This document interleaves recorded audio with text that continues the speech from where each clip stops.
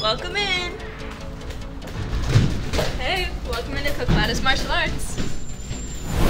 What's going on everyone? Master Tristan Koclanis here. Today we're gonna be working on our 10 station MMA power and conditioning workout. Let's get started. Our first exercise today is two pound shadow boxing. I want for us to really be focused on our footwork and our techniques from our prior month. So while you're practicing this, making sure that you're bringing your hands back to your face, working everything that would look perfect if you were sparring. A lot of times when we're drilling everything else, we start to lose our technique, we start to lose our accuracy, but with this, we get to really focus on just the techniques by itself, all right? Watch her a little bit, check out the footwork, watch how she's always keeping her weight on the balls of her feet, not letting her heels drag. While we're doing these exercises, I want you guys to do at least a minute in each station. For my classes, I have us do anywhere from two to three minutes per station with about a 30 second rest, all right? Once we're done with that, let's move on to the next one. All right, this one's gonna be all for the core. We're gonna do an ab wheel. I like to do about 30 seconds on, 15 seconds off, really making sure that we're squeezing the glutes, keeping a good base the whole time. Making sure that our back isn't arching when we go back down. We wanna keep everything tight, like there's a strong column of support as we're training through this. If we have a hard time with this, we can work on our planks. Michael, why don't you show that for me? I got this. See how as she's practicing this, she's not ar arching her back. She's keeping all of this strong the entire time. As you practice this and become a little bit more advanced, you can start to bring your elbows closer to your eyes and have a farther angle of support here as you're practicing this, okay? Just make sure that as you train, you're always keeping your glutes tight and not allowing any curvature of the spine, all right? Once you're done with that, let's move on to the next one, some jump rope. This one's one of my favorite. I like for us to work this for 15 seconds on, 15 seconds off. Now the difference with this is our 15 seconds off is gonna look like this. We're not gonna be just stopping and catching our breath. This is our off, right? Our on looks like this. High knees. Good. Keep that intensity. Find the breath. Thinking in through the nose, out through the mouth. Let me see about five more seconds, Will. Keep it going. Intensity. Good. And then slow it back down. Nice. Find your rhythm. Pay attention to the fact that when he's doing this, he's not jumping off both feet at the same time. He's keeping a good boxer's rhythm with this. Let me see 15 more seconds to show him what's got. Try to keep up with him, focusing on your breath. Let's see what you got, Will. 10 more seconds. You're doing good, man. Nice. And break. Good work. Let's move on to the next one. All right, Philip, show us some shadow boxing. We're gonna be working a little bit more of a bladed stance for this, all right? The past couple of months, we've been thinking more of our boxing style footwork and good technique with our hands, but now I want for us to think more karate and taekwondo style. Still staying light on the feet, but working our angles more. See how the stance is a little bit wider. He's able to throw more power kicks, more kicks to the head. Let me see some of those tornado kicks, flashier kicks. Good, flowing through it, nice. Always bringing your hands back to your face. Good. If you start getting really exhausted at this point, find your rhythm with it. You don't have to throw power the entire time. You can find some light footwork as you're practicing this. Me see about 10 more seconds, Philip. Nice. Keep it going, focusing on your breath. It to really work your technique and explosive energy. All right, awesome. Let's move to the next one. All right, this one is gonna be all about our teeps and roundhouse kicks. Now you can see as she's practicing this, she's keeping a good amount of distance the entire time. If you guys don't have a wave master with this, or you're not able to practice on this same type of equipment here, you can just do this in the air with the same type of shadow boxing. The whole goal with this one though, is to make sure that you can drive the person back and then work the roundhouse kick on the angle. Let me see a couple more. Doing good, Amy. Nice. Good. Now start working the angles a little bit. Instead of right in front, yeah, good. That person fall into your kick as you're practicing this. Awesome. All right, let's go to the next one. Good work, Aiden.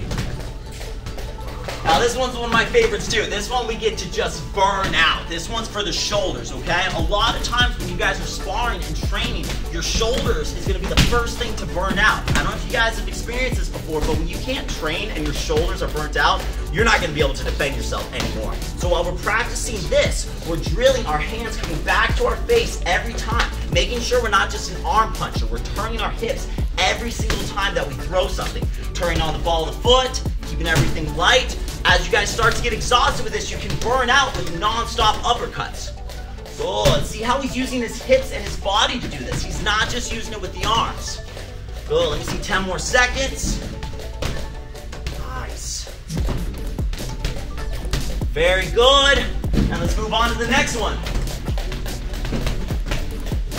Now, if you're feeling a little tired before, this is gonna really burn us out. We're gonna be working on our long bag drills, all right? The combinations for this month is going to be, number one, a jab into a roundhouse kick. Why don't you show me that, Kendrick? Good. I want us really working on our leg roundhouse kicks today. See how Kendrick is keeping his right hand up like it's a rope, so he's not letting his hand drop as he's throwing that kick. Good. The second one, we're to find a little bit more distance. He's to be throwing across into a pendulum inside leg kick. Let me see that a couple times, man. Nice. A little lower. Good. Right to the leg. Right over the knee. Perfect. Still keeping that front hand up. Nice. Next one, we're going to be working on a two combination. I want to see jab cross into a switch step. Nice. Show them a couple more times, Kevin. Looks great.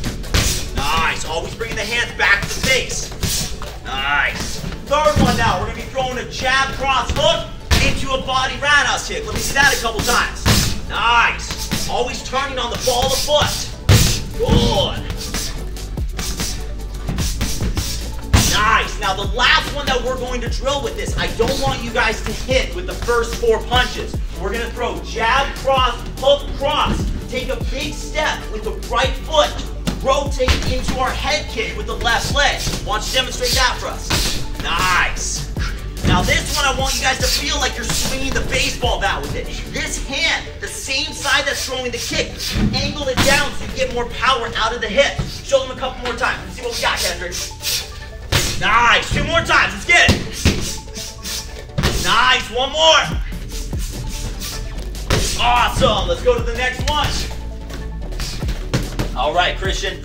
Over here, we're to be working on our peekaboo techniques, okay? We're to be keeping our hands by our face the whole time, really thinking that we're close into the person, all right? Keeping our elbows dropped, protecting our ribs, hands up by the face. If you guys are having a hard time with this, I always like to remember keep my hands by my cheeks with this, okay? Now, every time we throw a combo, let's say we throw one, two, three, I want you guys to think of at least two defensive techniques and positions afterwards. So we're not just gonna go one, two, three, and then stay there and get hit, right? We're gonna think from here, one, two, three, roll, get out of the way, making sure that your angles are right. Let me see a couple times. Good, always going back to your defense. Nice. Good, staying light on the balls of the feet, not letting your feet drag too much. Good, bringing the hands back to the face every time. Nice, let me see a couple more seconds of that, Christian. Let's keep it going. See how he always brings his hands back to the face. Awesome. Let's move on to the next one. We only have two more. You guys keep up the great energy. This one I want for us to be working on our jabs. Now, not everyone has access to a really good rice bag like this, but if you guys want to get them, they're only like 20 bucks, so I would always recommend it. But if you don't have one like this, work it on a regular bag for me, all right? What we're gonna work with this is our three different levels of jabs. Most people, when they throw jabs, they're just thinking here, right? Turning the hips over and throwing it to the jaw. I want you guys to also think about our body jab, where instead of just throwing it like this, we're slipping down, angling our body like someone's throwing a jab to the face and going forward.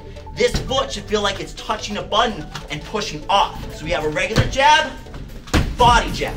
Show you again, regular jab, body jab. Now as you throw that high jab, we're gonna think we're slightly turning up.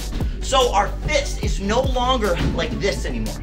We're thinking more on an angle here, lifting our chest up as we throw that punch. So we think face, body, angle up. Show you again, face, body, angle up. All right, let's move on to the last one. See what we got, Preston. This one, I want you guys to just burn it out. We're gonna be doing double hooks on the same side. I want body, head. Let me see that a couple times. Good. See how he's not allowing that left hand to drop down. Good. Let me see the other side now. Once again with this, I want you guys to think that everything comes from the body and the footwork. We're not just arm punches in here. We're pushing through it. Let's go. Come on, finish it up. This is your last station, so I want you to give this one everything you've got. Once, you feel like you only got about 30 seconds left, I want non-stop. Left, right, left, right. Bring the hands back up to the face every time. Turn into it. Good, we're almost done, you guys. I want to see what we got. Push through this. Let me see. Five,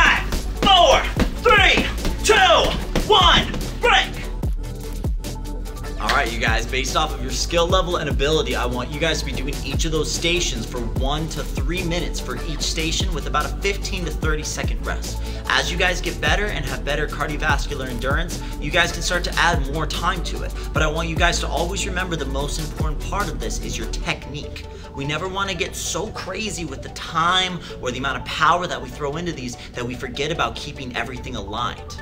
All right? Remember, you guys, Power is never gonna be as important as your accuracy, and timing is always gonna be more important than your speed, okay? Technique is better than anything else. Good work today, you guys.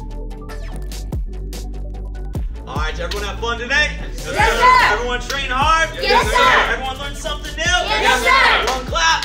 Awesome. All right, awesome job, you guys.